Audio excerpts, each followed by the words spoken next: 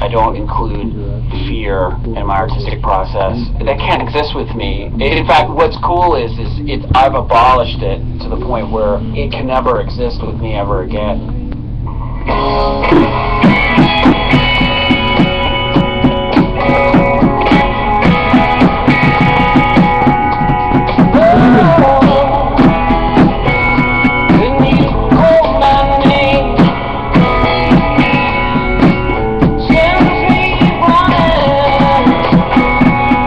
So so much.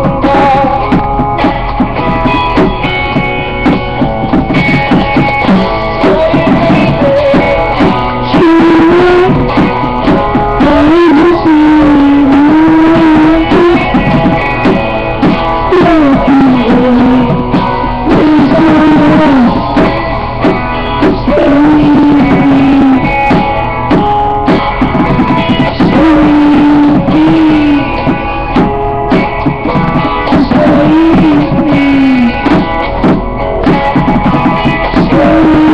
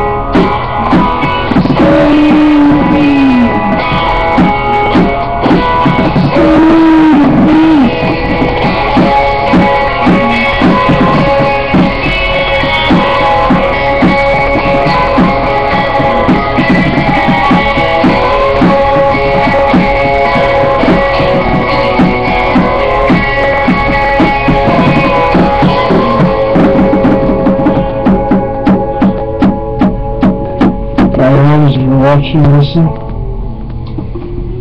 I don't know what your thoughts are.